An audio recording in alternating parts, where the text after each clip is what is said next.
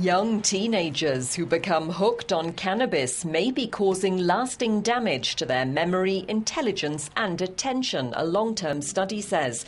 Experts from Britain, the US, and New Zealand found that those who'd regularly used the drug when they were under 18 suffered a drop in IQ. The adolescent brain is particularly sensitive to the uh, negative um, effects of substances like cannabis. And IQ is important for all sorts of things in life. It predicts how well you do educationally, uh, then predicts how well you do in the job market.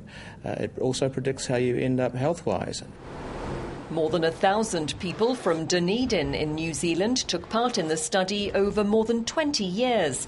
The results of regular cannabis users were compared with those who didn't indulge.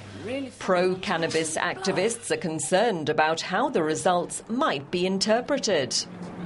Hopefully, uh, the message that cannabis can be harmful for some young people if they use too much of it too early doesn't get uh, turned around into, uh, you know, cannabis blows your brain for everyone.